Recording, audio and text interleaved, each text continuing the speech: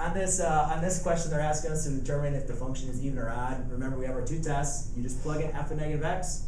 If you get f of x out, it's even. If you plug in f of negative x and you get negative f of x, it's going to be odd. So therefore, when I look in this function f of t, well, on t. I'm using f of t now. So remember, t is just my value, so I'm just now going to change this over to using your x's. So I'm sorry. t squared plus 2t minus 3. So to go and test if it's even or odd, what you're going to do is you're going to plug in a f of negative t. Thank you. Yep, no problem. So therefore, we have negative t, negative t squared plus 2 times negative t minus 3. And I like to put them around parentheses just to remind myself and to remind my teacher, whoever I'm doing my work, that I'm plugging in that value in for those variables. So obviously we know any negative number squared, that's going to be positive. Negative 2, negative t times 2 is now going to become a negative 2t. And then we'll have minus 3.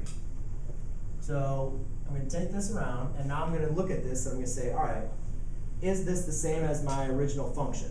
And I look, and no, it's not. Now, is this the same of my the negative of my function? Well, one way to help you out is if you factor out a negative sign, you can go and get that. So let's factor out a negative 1. So when I factor out a negative 1, I'm left with a negative t squared plus 2t plus 3. So now it's negative, you know, of my function. And when I look at this, that's still not negative fx because this is not my f of x. Does everybody see that? So it's positive. So it's neither? I mean, So even, it's gonna be- even not positive. Sorry. Well, it's not even because it's not the same as my original function, and it's not odd because it's not, when I factor out a negative one, it's not um, a negative one factored out with my function inside of it. So therefore, this is neither. Neither. So it has to be all positive or all negative. Not necessarily positive or negative, it either has to be, this is your original function. So when you plug in a negative x or a negative variable, you have to get back your original function. Yes? I don't get how you determine if it's odd. If it's opposite. what this says is this says a negative or the opposite of your function, right? So really what you're doing is if this is f of x, an odd function when you plug in negative x is going to be the opposite pretty much of your function. So I mean, you'd have to distribute a negative 1. So what I did was, when I plugged in a negative 1, we got this answer, right? You obviously understand that, well, hope you, you see that this and these are not the same.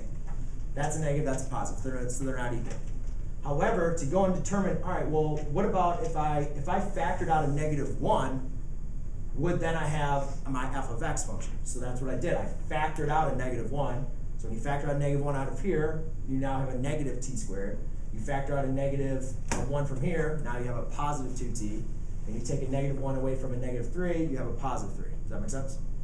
So when you factor out that negative one, do I have f of x? And or your original function? And no, we don't, because now that's a negative 2t, and now it's a plus or a minus 3. Does that make sense?